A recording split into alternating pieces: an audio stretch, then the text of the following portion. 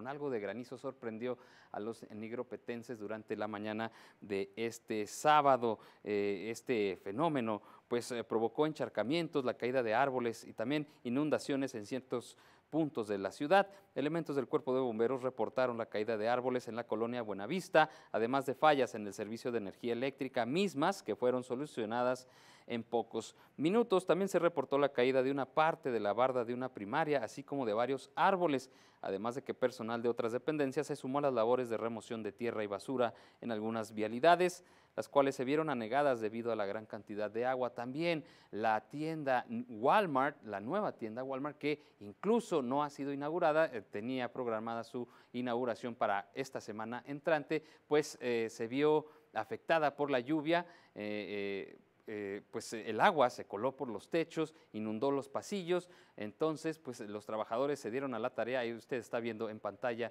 las imágenes de limpiar, de sacar todo el agua de los pasillos de este centro comercial que, le repito, todavía no es inaugurado, por lo que de nueva cuenta los nigropetenses pues se quedarán eh, esperando una nueva fecha para la apertura, la inauguración de este centro comercial.